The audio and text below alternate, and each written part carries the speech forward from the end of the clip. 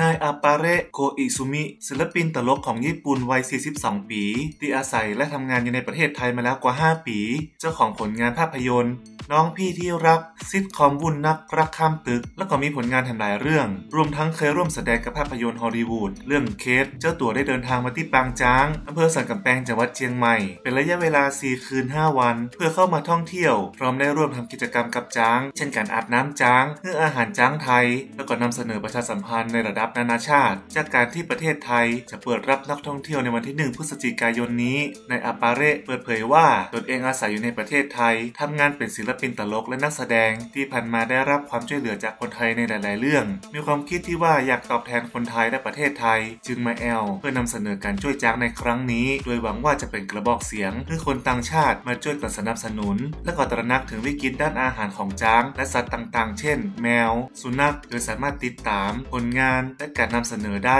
ซึ่งจะมีทั้งการไลฟ์สดถึงแฟนๆ ได้รับรู้ถึงการมาแอลปังช้างในครั้งนี้ด้วยครับ